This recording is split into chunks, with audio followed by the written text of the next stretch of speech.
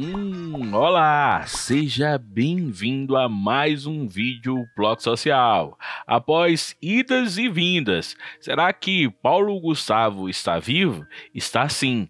Tata Werneck desabafou e contou tudo. Mas curte, comenta, compartilha, se inscreve no canal Bloco Social Notícias.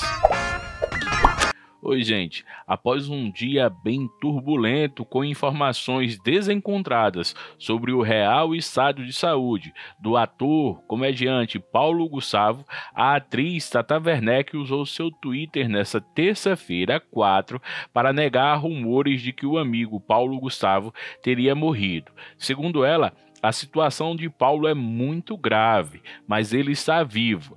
Parem parem, querem ganhar likes em cima dele. Nesse momento, ele está vivo. Deixem o Paulo em paz, deixem meu amigo em paz, disse Tata Werneck.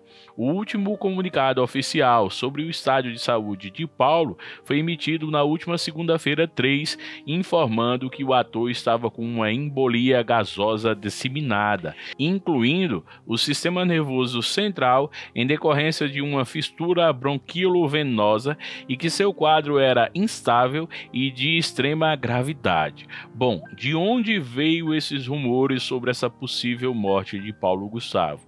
De alguns sites que postaram essa notícia nessa segunda-feira e também terça-feira. Bom, graças a Deus ele está vivo e a gente segue torcendo, acreditando que o Paulo vai sair dessa. Quer saber mais? Então curte, comenta, compartilha, se inscreve no canal Bloco Social Notícias.